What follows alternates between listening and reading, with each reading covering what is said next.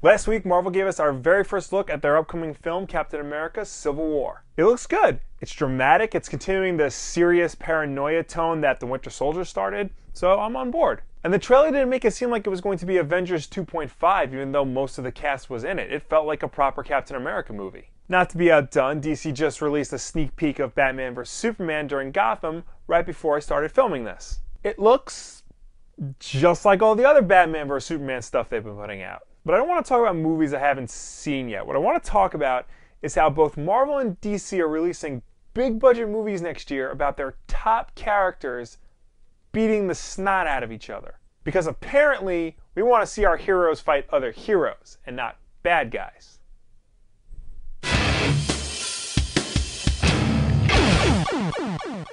When superheroes were first created, they were obviously good guys, people you can look up to to always do the right thing.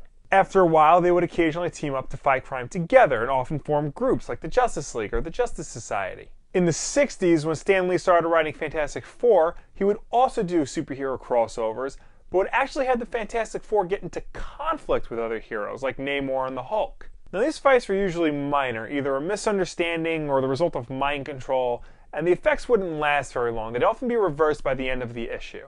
Now, as far as I can find, the earliest example of a hero versus hero battle as we think of it today was the Avengers Defenders War from 1973, written by Steve Englehart. This story pit the Avengers against the Defenders for control of the Evil Eye. But both teams were manipulated by Loki and Dormammu, so this can be chalked up to another misunderstanding. If you ask me, Frank Miller's Dark Knight Returns really set the tone for what a hero v hero battle should be for the next few decades. The climactic battle between Batman vs. Superman in this book wasn't one based on misunderstandings or mind control or anything like that, but rather based on ideological differences. These are two characters who have very different views on the world and how to save it, and have finally just reached a point where they can't put their differences aside anymore. Ever since The Dark Knight Returns came out, ideological differences seem to be the go to reasoning for why superheroes fight each other, and that lingering animosity can last throughout a character's ongoing story. In the past 15 years, we've seen an influx of hero versus hero stories, from Identity Crisis to Injustice to pretty much every Marvel event since Civil War. Now, on the one hand, seeing superheroes fight is kind of cool. It satisfies a childhood part of our brain that would often ask these questions on the playground.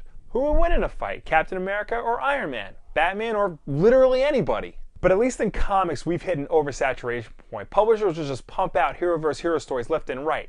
Like I said before, every Marvel event since Secret Wars was some variation on heroes versus heroes. And since event comics are the ones that get the most promotion, it seems like nowadays all heroes do is fight each other instead of fighting crime.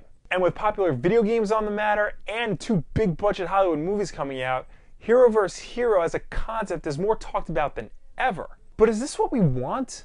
To see our heroes fight each other? I mean, yeah, every once in a while it's cool, but to keep this going for so long?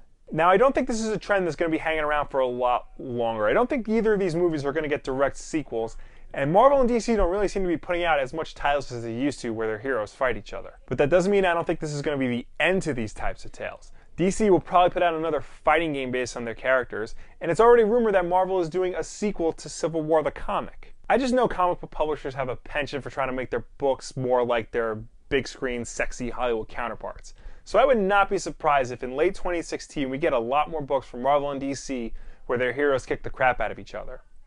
At least until the next round of movies comes out and they start taking ideas from those. Let me know down below or anywhere on the internet what you guys think of hero v hero stories. Have you had enough? What are some of your favorite and least favorite examples? New videos every Monday, Wednesday, and Friday. Streaming on Thursdays. Like if you like, subscribe if you really like, share this video with a friend. Thank you so much for watching and I will see you next time. In fact, my only real exposure to Jessica Jones is through her second less popular series, The Pulse. I had never read Alias, the series she made her debut in. But this could be a good thing. It's one of the few times I'm going into a comic book adaptation cold. Sometimes it's not fun knowing that Bucky is the Winter Soldier or that Gwen Stacy isn't going to last very long. I, it's not that I lost interest. I, I don't think I. Well, I mean, yeah, yeah, I like going out. Yeah.